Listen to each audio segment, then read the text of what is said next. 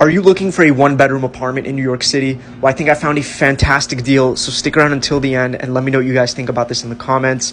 Now, we are in this very well maintained walk up building, as you can see here. Now, we are in the Upper East Side. And again, this is a very, very well maintained and updated building. And making our way into the unit, we have these really nice hardwood floors. And as we make our way to the living area as well as the kitchen, you have very decent space and great natural lighting and now the kitchen does have white appliances that do include a dishwasher as well as microwave.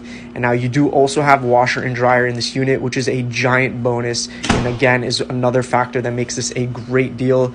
And now here is the bathroom, nice deep tub, and you do have natural lighting coming from the ceiling. And as we make our way to the bedroom, it is a queen sized room and also has its own closet space as well as one outside. And now all of this is renting for $3,000 per month.